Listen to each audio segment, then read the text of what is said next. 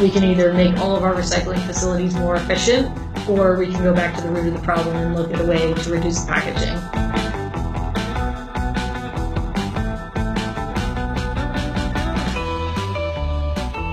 When you go to toteandco.com, you have the option to choose the reusable mailer. Um, there's no cost. We get that order, we fulfill it using the reusable package. When they receive their package, you flip the label over, put it back in, and set the mailer back out.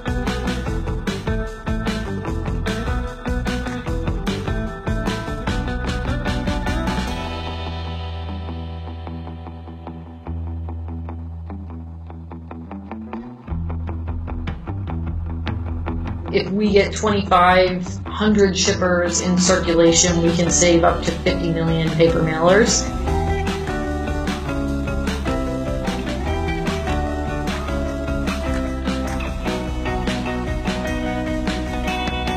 At this point, um, consumer demand is outstripping our availability of the mailers.